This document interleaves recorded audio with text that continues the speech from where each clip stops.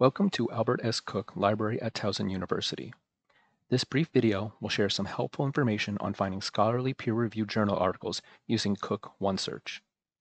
As always, we're going to begin our academic research by navigating to libraries.towson.edu. We'll use Cook OneSearch today. Cook OneSearch searches multiple library databases at the same time. Let's start by picking search terms to describe our topic. In this case, let's learn about the history of the United States Congress. Type United States Congress history into the search bar. Putting quotation marks around the search term United States tells library databases to search for this exact phrase. Select Search.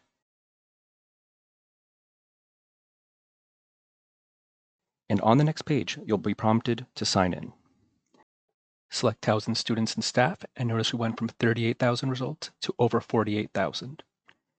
Next, let's review those results. There are a lot of books included, but we're looking for academic journal articles today. So, using the search bar menu, let's change what we're searching for from all to articles. We do see more articles listed, but we're also seeing web resources and edited books. That's because there are a lot of different kinds of articles, not just scholarly peer-reviewed ones. We also see some printed books that are located on campus. We need to refine results again. This time, let's select peer-reviewed journals plus available online, and then apply the filter. That gives us just under 10,000 results. So let's refine results one more time to adjust creation date. Let's search for articles that were published in the last 10 years. We'll type 2014 in the From box, then select Refined, and excellent. We now have just under 3,000 results. When we're happy with the sources in our search results, we can try opening some of the articles. To start reading an item immediately, select Available Online hyperlink.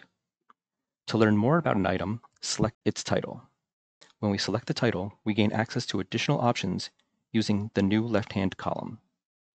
Let's save this article to read later by using the Send To function. Let's select the chain icon to copy the permalink then paste the permalink into whatever document we're using to track our sources. Next, let's get the citation for this item. Select the citation style by scrolling the list of options. In this case, let's select APA. Now copy the results and paste them into your doc. Finally, to read the article, select either Get PDF or Read Online. Have more questions? You can contact us by chat, email, phone call, text, or individual appointment. Learn more at bit.ly slash tu ask a librarian. Thank you for watching this video, and remember, we're here to help.